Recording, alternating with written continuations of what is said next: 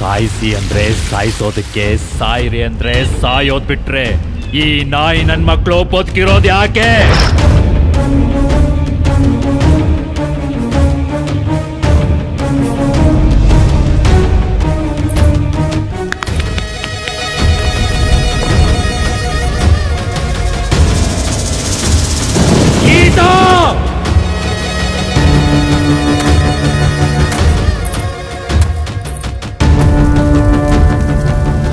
ಎಷ್ಟು ಇರಬೇಕು ಅಷ್ಟು ಜನರ ಮುಂದೆ ನನ್ನ ಮೇಲೆ ಕೈ ಮಾಡ್ತಾಳೆ.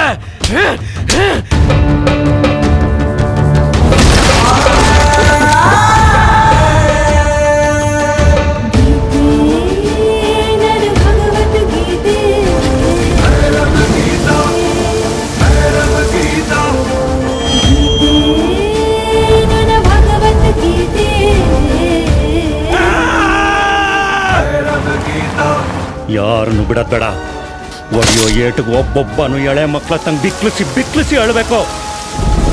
ಅವರ ಎದೆ ಬಗೆದು ಇಡೀ ಊರಿಗೆ ರಕ್ತಾಭಿಷೇಕ ಮಾಡಬೇಕು.